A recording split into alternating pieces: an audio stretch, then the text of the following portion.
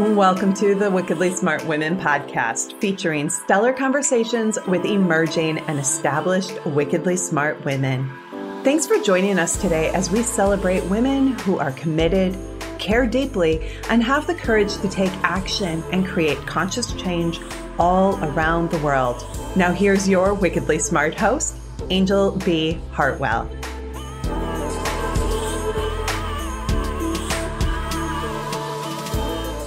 Welcome to another episode of the Wickedly Smart Women podcast, where we celebrate wickedly smart women and provide our listeners with a wealth of wisdom, along with immediately actionable steps to be smarter, spunkier, and more successful in their impact and their leadership.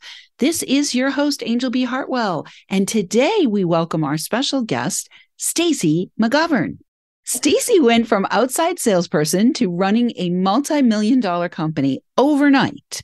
The wife of a police officer, Stacey's passion for helping families of law enforcement became her business. She launched her company Point Blank Safety Services in 2012 with no way of knowing today her company would be one of the most successful traffic safety and security companies in Texas. She then used that success to pay it forward by founding a nonprofit, Blue Family Fund, that provides scholarships to first responder dependents and financial aid to families of injured or fallen law enforcement officers.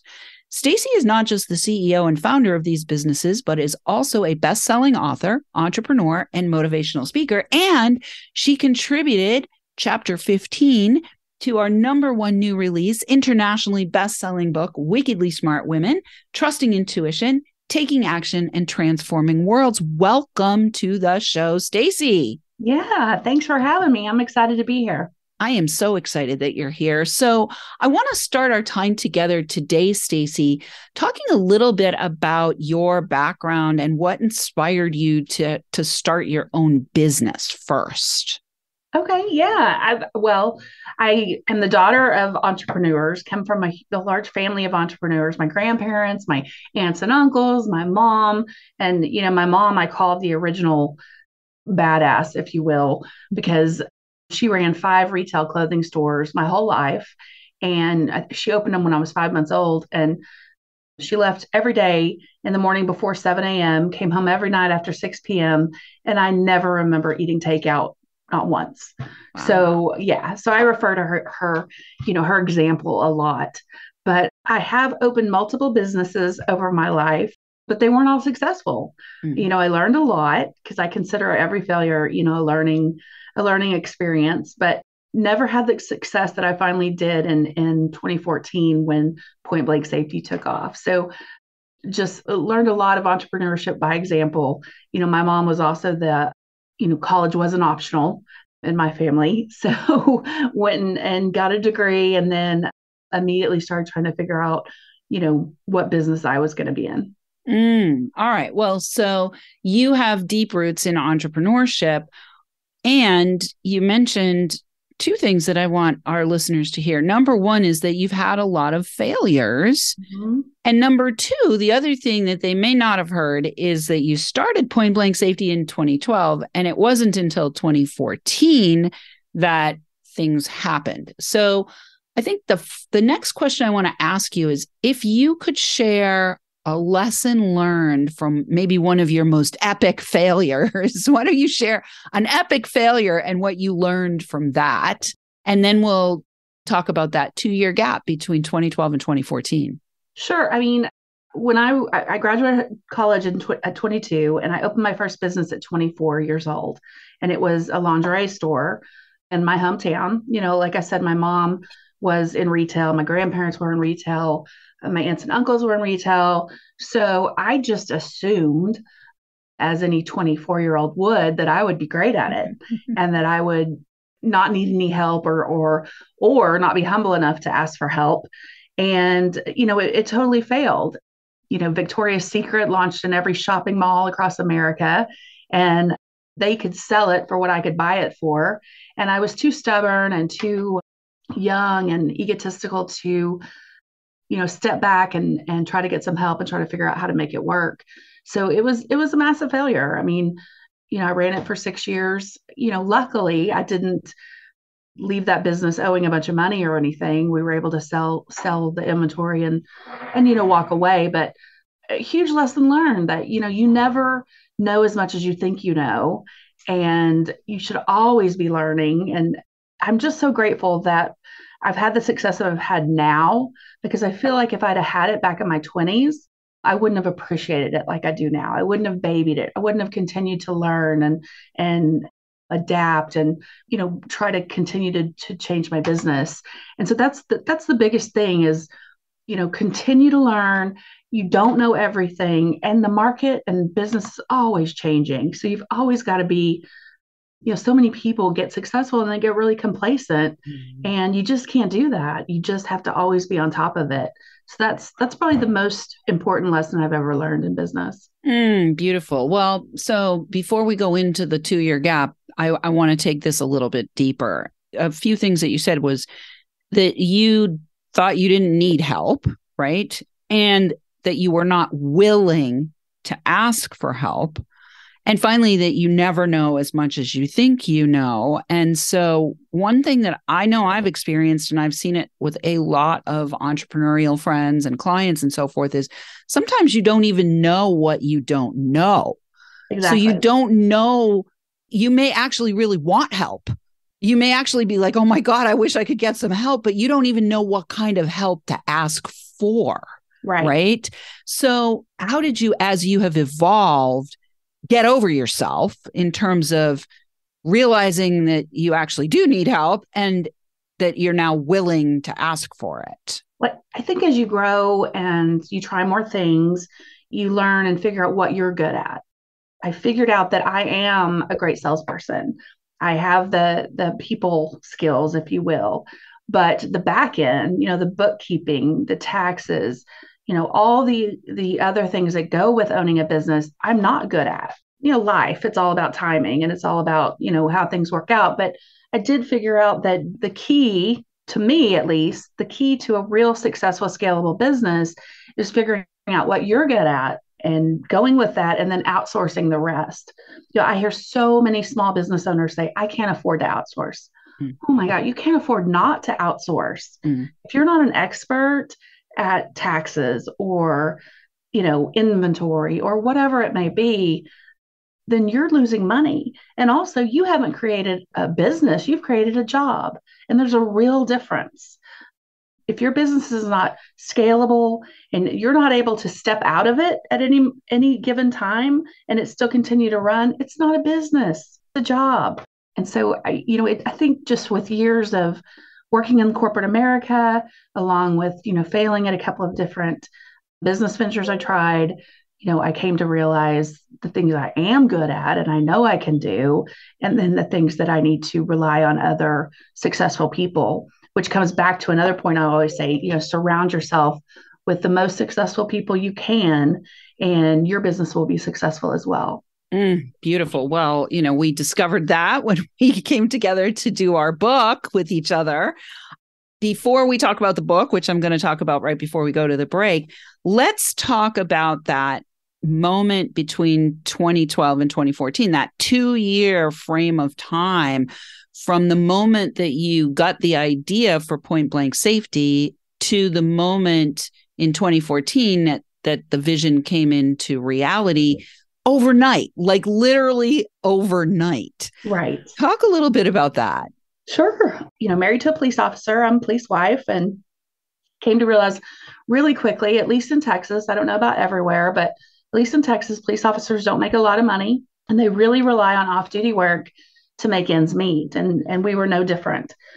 You know, Michael would work off duty jobs here and there. And, and the thing was, Anjel, we never knew when he was going to get an off duty job we never knew you know there was no no pre-planning. It was so hard to you know i consider myself the ceo of my family first before the ceo of of my business. And so it was really hard to plan you know birthdays or dinners or or any kind of events because he would get home from a 12 hour shift and then someone would call and say hey can you work off duty? And gosh we needed the money but gosh, there just went all the plans that we had, you know, already scheduled or whatever. So I said, you know, there's just got to be a better way. There's, there's got to be a way where these officers can get as much or as little off duty work as they want, you know, and it could be in a, they could know in advance, 30 days or two weeks in advance when they're working, you know, how many hours they're working, when they're going to get paid, all that. And so I said, I think I can do this. I think I can I think this is a great idea and I think I can do it. And I got a business card and I formed an LLC and that was it. Then I had to start, you know, figuring out how to get traction on this business. But don't get me wrong, I couldn't quit my job. I didn't have, you know, thousands of dollars in the bank. I was still raising two boys. My husband was a police officer, so he was never home.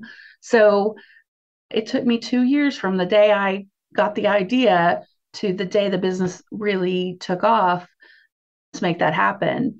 And there were so many times in that two years that you know, I doubted it. I said, you know, gosh, is this really how I should be spending all my time? I'm missing time with my kids. I'm missing time, you know, all, you know, my free time was, you know, 3 a.m., I guess I should say. So I just kept pushing and I just believed in the idea, I believed in myself. And so I just didn't give up. And 2014, the doorbell rang and it was FedEx and they had a package for point blank safety, which understand point blank safety didn't get packages. it was an idea and a business card. And so I opened the package and it was a $1.5 million contract to use my company and our officers on a highway construction project where they were adding a lane from Dallas to Denton. So, um, wow. I get yeah. the chills when I hear that story. And speaking of which, that story and more is chronicled in our book, Wickedly Smart Women Trusting Intuition, Taking Action, and Transforming Worlds, which was a number one new release in multiple categories in multiple countries best selling internationally. And Stacey contributed, as I said earlier, chapter 15 to the book. And we're just so grateful that you were part of that. Stacey, we're going to take a quick break. But before we go to the break, you know, I do want to fast forward and have one last little piece here about, you know, at what point did you make the decision to start the Blue Family Fund because, you know, that was something that happened, I'm sure, after your $1.5 million contract. When did you make that decision? It was actually 2017. You know, we were, were doing really well with Point Blank, and I'm a big believer in you get what you give in life. My grandfather always said that. And so I, we really wanted a way to pay forward our success, pay it back to first responders, our community, everything. And so, you know, Michael and I started researching different charities, and we were kind of sad to find out that so many, like so little percentage of what you donate actually goes to the cause. And we just didn't want to do it that way. That's just not what how we wanted to do it. We work hard for our money. We know everybody works hard for their money. So we decided that we would pay all the bills for the nonprofit. We wouldn't take any salaries out of the nonprofit. And so literally every dollar you donate would go to help the family of a first responder that's been hurt or injured in the or fallen in the line of duty. It was really just a hey, we need to pay this forward. Mm. So, Beautiful. That's the right thing to do. Beautiful. Well, wickedly smart women.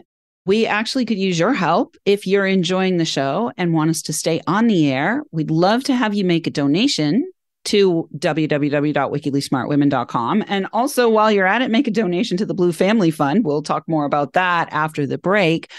We'd love to have you also share with your lovely lady friends and colleagues that you think might benefit from our content. And also consider getting the book at wickedlysmartwomen.com. You can go right to the website and click on the book, and that will take you to the book buying page.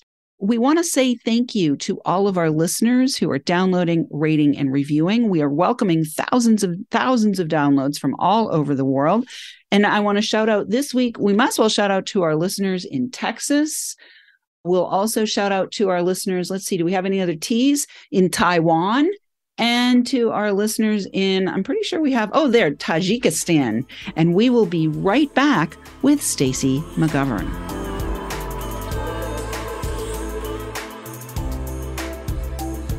The Wickedly Smart Women podcast is brought to you by the Wealthy Life Mentor.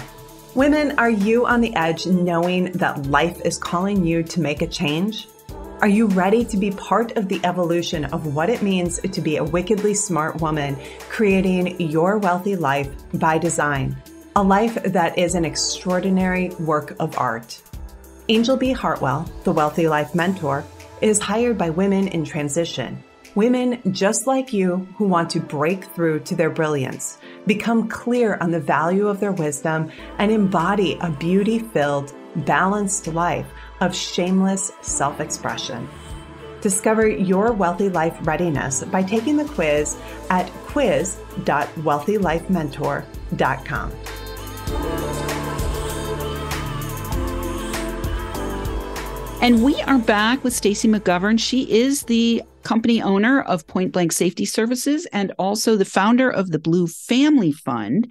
You can find out more about the Blue Family Fund, which is a nonprofit organization that provides scholarships for first responder dependents and financial aid to families of injured and fallen law enforcement officers by going to bluefamilyfund.org and be sure to press the donation button so, Stacey, before we went to the break, we were talking about you know that you were inspired to pay it forward but you also kind of dropped into the conversation that you're one of the very few nonprofit organizations that is funded by your own business. Like you put your time and your money to fund the organizational structure and operations of your nonprofit so that all the donations actually go to the intended recipients. Can you talk a little bit about what your decision making process was to allow you to make the decision to form the nonprofit in the first place and to fund it in the second place? And what kind of things do you need to think about in your own actual money generating business to make sure that all of those pieces of the puzzle are functional and that the funding keeps flowing properly? Wow, that's that's a lot of questions. Yeah, I know. Um, You'll do fine. yeah. Well, just uh, as I sort of mentioned, my grandfather was a huge believer in you get what you give in life. And so as we had so much success with Point Blank, we really wanted a way to pay it forward. You know, we could have gone and bought, you know, the big house and the fancy cars and all that that stuff, but that's not what's in my heart. I wanted to help people. And you know I, I, like to say that we're changing lives you know one family at a time. Mm-hmm. And so many i mean so many stories of fallen or injured first responders get media attention. Mm-hmm. And those people do get help and donations but then there's a whole nother side of first responders that are injured or fallen that don't get any media don't get any help. So you know being with a company where we we employ over 200 police officers you know we learned this you know, through our business. And so that's kind of what made the decision. Also, my my husband's a police officer and his brother is a police officer that that died of brain cancer and just just really knew that you know there's families out there that lose their primary breadwinner being a first responder and really really need the the help mm. so that's kind of what got it all started and then you know we were like well we started a business what you know how hard could a nonprofit be yeah, right. It's a lot harder than I thought it was. But anyway, uh.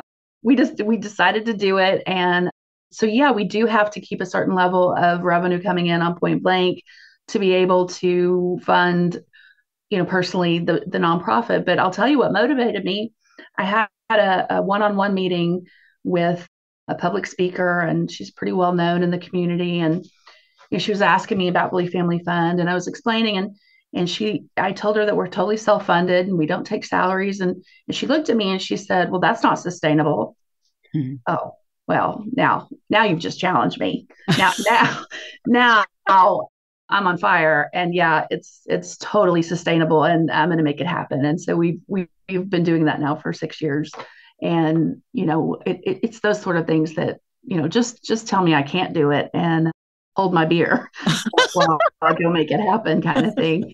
So yeah, that's that's why I continue to do it. I think it is sustainable if you if you want to put in the effort to make it happen. There are many other charities that are self-funded, but they're very hard to find, mm-hmm. few and far between. A lot of them, you know, all the money goes to a big CEO salary or a huge facility, which, you know, I understand some of them need those large facilities, but you know, we're making an import, impact more locally and more community wide. And we're pretty proud of that, honestly. Mm. And more directly. Yeah. Right. Really directly. Yeah. Beautiful. So I want to go back to the there's two things from the front end of our our interview here that I want to go back to. One was all of a sudden you got a 1.5 million dollar contract from nothing. Right. And you know, for many people that would have actually caused them to collapse mm-hmm.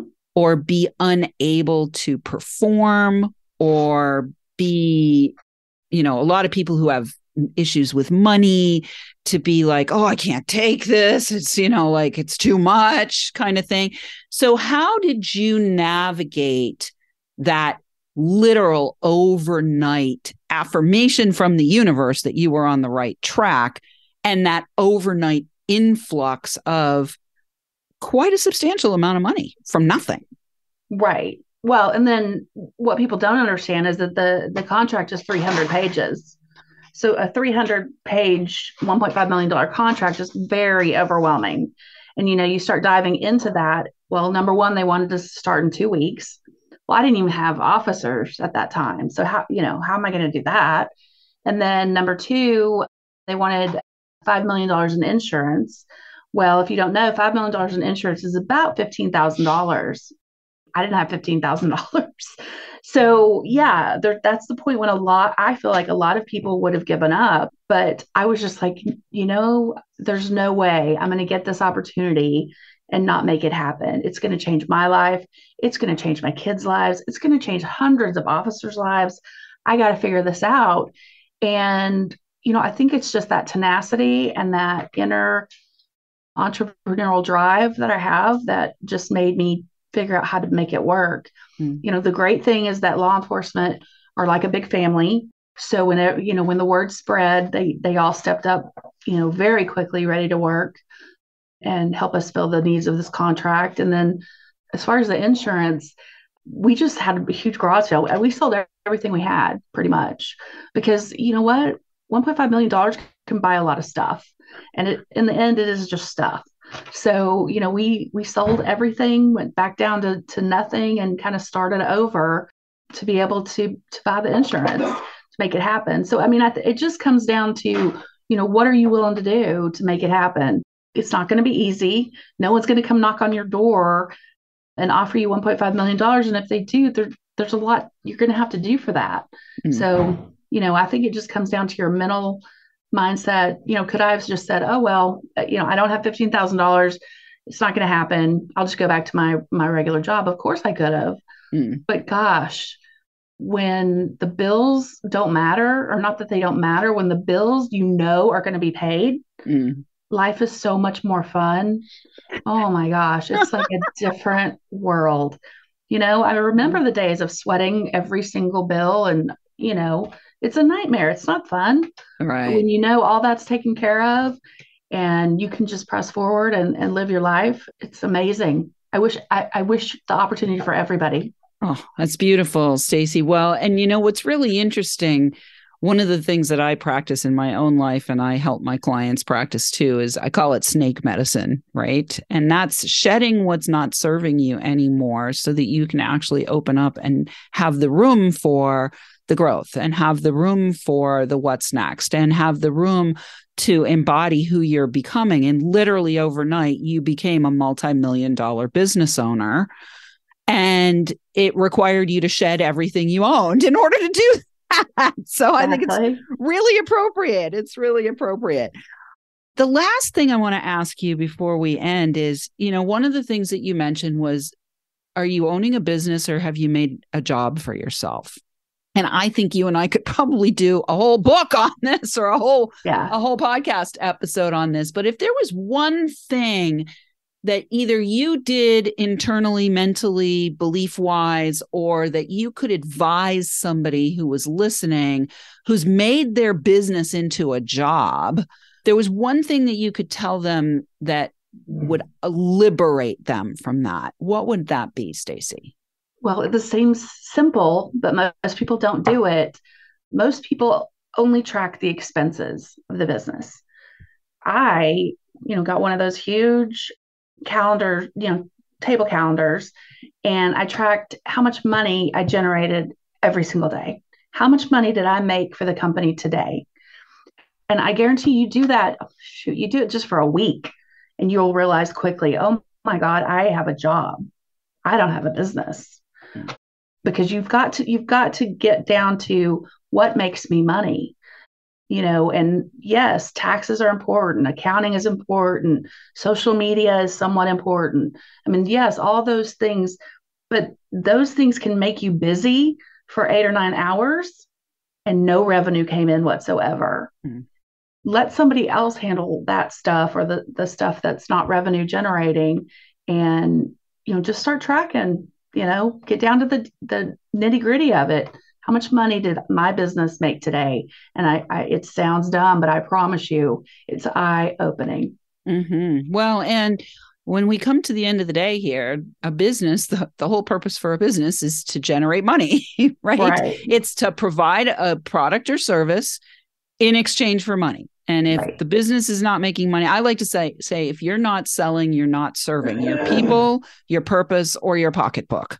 Right. So I love that you also, you know, came to the table with sales experience and that's, you know, obviously you have that mindset. So beautiful. Well, Stacey, it has been a pleasure.